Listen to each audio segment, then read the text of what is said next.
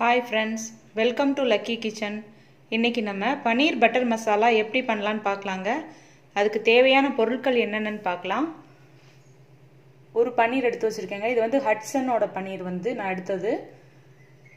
இப்போ வந்து மசாலா ஐட்டம்ஸுங்க இதில் வந்து ஒரு சின்ன துண்டு பட்டை ரெண்டு கிராம்பு கொஞ்சம் சோம்பு ஒரு பிரிஞ்சு இலைங்க. அது எடுக்க மறந்துட்டேன். நான் காமிக்கிறேன். அப்புறம் ஒரு ஆஃப் டீஸ்பூன் வந்து கஸ்தூரி மேத்தி ஒரு சின்ன கியூப் பட்டர் இது வந்து ஒரு ஒரு டீஸ்பூன் சில்லி ப மிளகாத்தூள். இது ஒரு டீஸ் ஒன்றரை டீஸ்பூன் வந்து குழம்பு மிளகாத்தூள் கால் டீஸ்பூன் மஞ்சத்தூள்.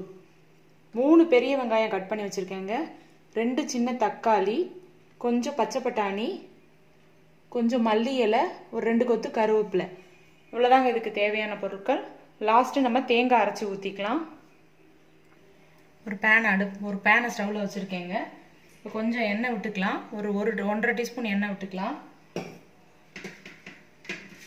இப்போ நம்ம எடுத்து வச்ச ஆனியனை அதில் பாதி மட்டும் நம்ம இப்போ எடுத்து இதில் ஃப்ரை பண்ண போகிறோங்க நம்ம மூணு ஆனியன் எடுத்து வச்சோம். அதில் ஒரு பாதி மட்டும் எடுத்து இதில் போட்டு நான் ஃப்ரை பண்ண போகிறேன்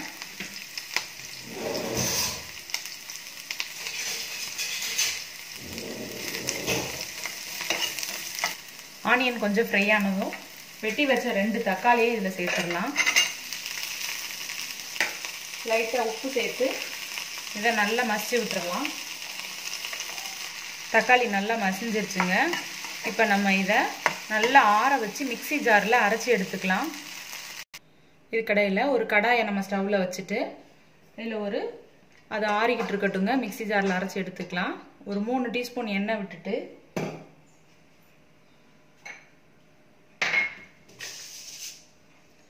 எடுத்து வச்ச மசாலா ஐட்டம்ஸ் எல்லாம் இதில் போட்டுடலாம் ஒரு பிரிஞ்சி இலை பட்டை கிராம்பு கொஞ்சம் சோம்பு எல்லாம் சேர்த்துட்டு கொஞ்சம் ஒரு ஆஃப் டீஸ்பூன் கடுகு.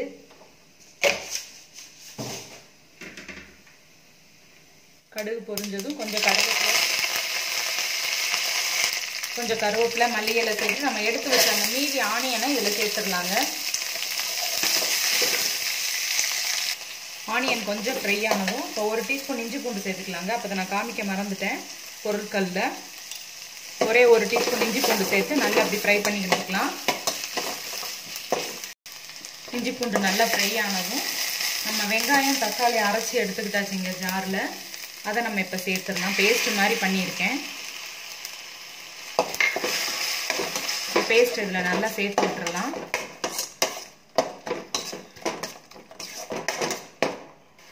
எடுத்து வச்ச கொஞ்சோண்டு பச்சை பட்டாணி இதில் சேர்த்துட்றேங்க இது காய் பட்டாணி தான். பட்டாணி சேர்த்தா நல்லாயிருக்கும் பன்னீர் குருமாவுக்கு டேஸ்ட் நல்லாயிருக்கும் கொஞ்சம் ஒரு ரெண்டு நிமிஷம் வதக்கி விடலாம் அதில். தக்காளி ஏற்கனவே நம்ம நல்லா வதக்கி அரைச்சதுனால இப்போ நம்ம அந்த பொடியை சேர்த்துடலாங்க ஒரு டீஸ்பூன் வந்து வத்த பொடிங்க ஒன்றரை டீஸ்பூன் குழம்பு மிளகாத்தூள் சேர்த்துருக்கேன். நீங்கள் உங்கள் காரத்துக்கு தக்க நீங்கள் சேர்த்துக்கோங்க.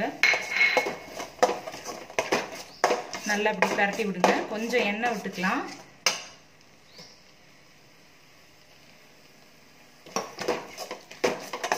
கொஞ்சம் அந்த பொடி வாசனை போகட்டும்.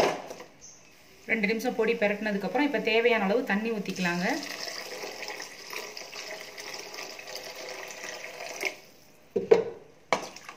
நல்லா கொதிச்சு வரட்டும். ஒரு பத்து நிமிஷம் நல்லா கொதிக்கட்டுங்க. பட்டாணி கொஞ்சம் கொதிச்சு பட்டாணி கொஞ்சம் வெந்துருச்சுங்க. இப்போ நம்ம உப்பு சேர்த்துக்கலாம். தேவையான அளவு சேர்த்துக்கோங்க. நல்லா மிக்ஸ் பண்ணி விட்டுட்டு கொதிச்சுட்டு இருக்கிறதுக்குள்ள இன்னும் ஒரு அஞ்சு நிமிஷம் கொதிக்கட்டுங்க. நம்ம அதுக்குள்ளே தேங்காய் அரைச்சி ரெடி பண்ணி வச்சுக்கலாம். அரைச்சி எடுத்துக்கிறதுக்கு ஒரு சின்ன சில்லு தேங்காங்க. ஆஃப் டீஸ்பூன் வந்து தூள் முந்திரி ஒரு டீஸ்பூன் பொரிகடலை. இதை மூணையும் சேர்த்து நம்ம பேஸ்ட் பண்ணி எடுத்துக்கலாம். தேங்காவை நல்லா பேஸ்ட் பண்ணி எடுத்துக்கிட்டாச்சுங்க. பன்னீரையும் நல்லா க்யூப் க்யூபாக கட் பண்ணி எடுத்துக்கிட்டாச்சு. இப்போ இதை நம்ம குழம்புல சேர்த்துடலாம்.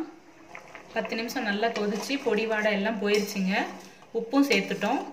இப்போ நம்ம இந்த பன்னீர் இதில் சேர்த்துடலாம். பன்னீர் போட்டு ஒரு அஞ்சு நிமிஷம் கொதிச்சா போதுங்க. நல்லா வெந்துடும் அதுக்கு மேலே இருக்க வேண்டாம். சப்பாத்திக்கு அவ்வளோ டேஸ்ட்டாக இருக்குங்க. சப்பாத்திக்கு இந்த சைட் டிஷ் வச்சோம்னா குழந்தைங்க நல்லா சாப்பிடுவாங்க. சப்பாத்தி சாப்பிடாத குழந்தைங்க கூட இதை பார்த்துட்டு நல்லா சாப்பிடுவாங்க. அதுவும் போக பன்னீர் வந்து நல்ல ஹெல்த்திங்க. இது பாலில் செய்கிற ஒரு பொருள்ன்றதுனால நல்ல ஹெல்த்தி குழந்தைங்களுக்கு. அடிக்கடி நம்ம பண்ணி கொடுக்கலாம். நல்லா ஒரு அஞ்சு நிமிஷம் கொதிக்கட்டுங்க. பன்னீர் போட்ட ரெண்டு நிமிஷத்துலேயேவும் நல்லா கஸ்தூரி மேத்தி ஒரு ஆஃப் டீஸ்பூனுங்க அதையும் சேர்த்துடலாம்.